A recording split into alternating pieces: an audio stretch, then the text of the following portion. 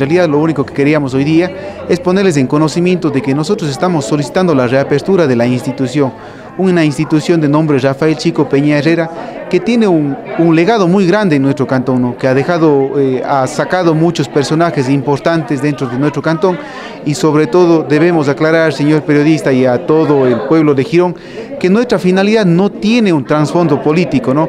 Nuestra finalidad, como decían varios personajes, papás de varias alumnas, queremos que nos ayuden a recuperar la infraestructura que nos tocó construir con el sudor de nuestra propia frente.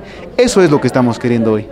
Vamos a proceder ante otras instancias. Tenemos el ofrecimiento del señor director zonal 6 eh, para que, o tenemos el compromiso, sería así, de ayudarnos a recuperar la institución del Colegio Rafael Chico Peña Nosotros fuimos promotores de ese colegio cuando trabajaba de inicio en la Abraham Barsallos. Nosotros con don Victito Randrade, pucha, nos sacado nuestro sudor de nuestra frente trabajando todas las aulas de allá de Pambadel.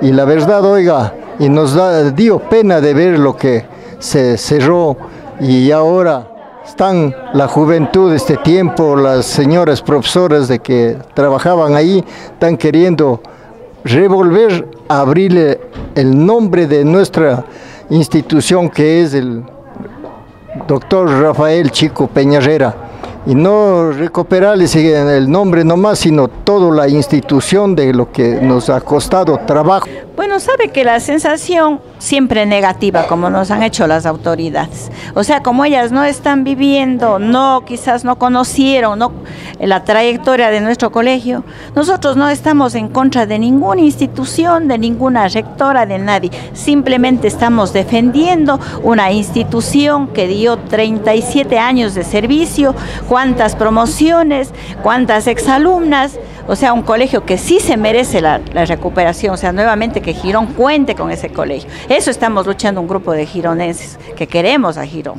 ¿Por qué se ha retomado esta, este proceder, esta lucha, cuando ya han pasado dos años de que se fusionó? Ya, porque nos o sea, hay un acuerdo que salió recién en el 2018, si no estoy mal, un acuerdo en el que puede nuevamente es el presidente de la actualidad, o sea, él nos dice que puede las escuelas que se han cerrado, los colegios que se han fusionado, se pueden nuevamente retomar. Por eso.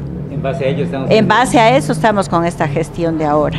En cambio ahora, antes nos vivían engañando, usted sabe cómo era la política del señor Correa, engaños tras engaños, eh, que ya no podemos, que el, colegio Alejandro Andrade va a ser el colegio eh, del milenio, que tanta mentira, tanta cosa que hicieron, ¿y en dónde está eso? Pero los señores autoridades dicen que ellos velan por los estudiantes, solo la base.